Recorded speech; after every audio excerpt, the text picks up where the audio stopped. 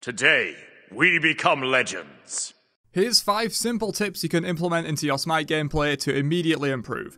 These aren't meant to be game changing techniques that require time and dedication, they're just quick things that anyone of any skill level and playtime can start doing to get that edge in game. Of course, there are things like learning every role so you can know what the enemy and your other teammates will do, etc., but I wanted these tips to specifically not require a lot of time and dedication to implement. So without further ado, let's jump in. So first up, when diving or chasing, save your movement skill until the enemy uses theirs. Try to get in their face without using movement if possible by flanking around or using blink so you can save your movement skill to follow theirs, otherwise they'll just easily escape you. As I said, Blink is really great for this because it can't be used in combat, so you can't really chase with Blink. You kind of can, but it's a little bit more difficult. So if you can Blink into the fight and get in and then save your dash or jump for chasing afterwards, that's going to give you a lot more success when diving. Number 2. On mages and guardians specifically, don't overuse basic attacks in fights. They slow you down substantially and don't do that much damage compared to your abilities. Magical basic attack scaling is much lower than physicals, and mages and guardians rely much more on their abilities for damage and control, where their basic attacks are often a hindrance with the slow that it gives. The penalty for this is 50% for ranged basic attacks, so mages, and 35% for melee, so guardians. So just be aware of this and don't always be basic attacking if it's not necessary and won't massively improve your damage output, especially on mages and guardians. The lost maneuverability will get you hit way more often, and the damage you might get from a couple of basic attacks isn't worth it a lot of the time. On a similar note for number 3, be aware that backpedaling and side strafing slows your movement substantially, so if you're trying to dodge abilities or run away, try to move forwards instead of sideways or backwards. Of course, you might need to juke sometimes, but strafing makes you 20% slower and backpedaling makes you 40% slower.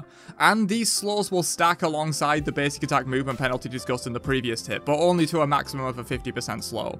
This not only makes you slower to chase or get away, but also makes you much worse at dodging abilities or basic attacks, so just be aware that sometimes it might not be the best choice to strafe or backpedal in a team fight.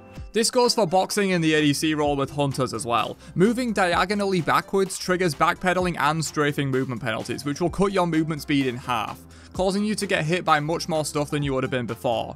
Also, just jumping in here to underscore the fact that movement penalties can never add to more than 50%, and since ranged basic attacks already slow by 50% by default, it actually doesn't matter if you're backpedaling or strafing while doing ranged basic attacks specifically. Melee basic attacks slow you less, and so if you're strafing with melee basic attacks, you will be slower than just basic attacking like normal or moving forwards. But yeah, on ranged basic attacks, they already apply the maximum slow, and so there's no real need to worry about strafing or backpedaling while firing basic attacks, but they will of course slow you if you're not basic attacking just trying to juke. Also, don't always just hold left click for basic attacking. This will also cut your movement speed in half, and sometimes it's better to shoot each one individually so you aren't getting slowed quite as much. Number 4, don't always use abilities as they come off cooldown. This is a mistake a lot of new players make. Sure, this might be optimal for theoretical mathematical DPS since it puts the ability back on cooldown immediately so it'll be up more often, but Smite is a complex game that is about more than just strict DPS numbers, and saving your abilities for the right situation is often way more useful.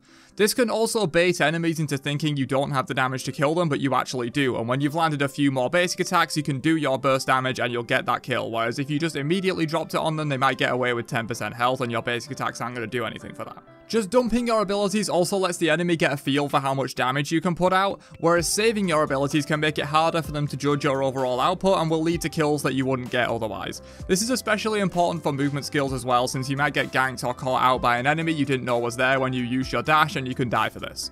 And finally, number 5, make your minimap larger, drop its opacity, and put it near the middle of the screen.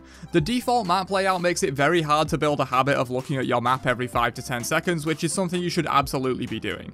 If you already have this habit built into your brain of looking at your map, this tip might not be necessary, but from personal experience, I find it a lot easier to develop the habit of checking on my map when I have to only glance slightly to the right, rather than looking all the way across my screen and potentially losing track of my character and what I'm doing in-game in the process. Dropping the opacity allows the map to still be in the center of your screen but be much less intrusive and you can still play even with it covering a lot of the middle of your screen. This is especially good if you're already familiar with the map geometry as the icons for gods, objectives and camps and stuff like that will still be very visible. But the pathways and geometry of the map might be a little bit fainter.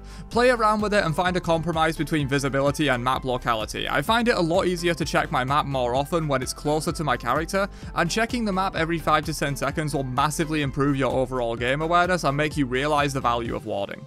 And that's it. Hopefully you guys enjoyed this quick video on a few ways you can improve your game very quickly. Let me know if you'd be interested in more of these kinds of tips and I'll catch you guys in another one later on. Have a great day, and peace out you nerds.